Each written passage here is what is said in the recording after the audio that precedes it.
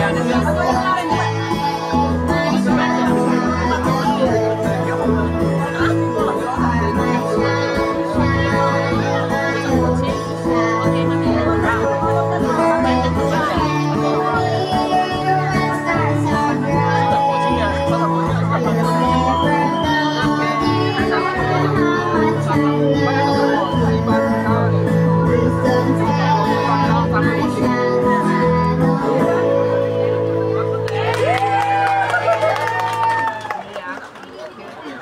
Gimana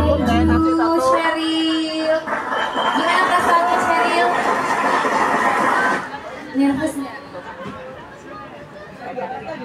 Kayaknya malu-malu ya. Nervous nggak Cheryl? Tadi tingginya bagus loh.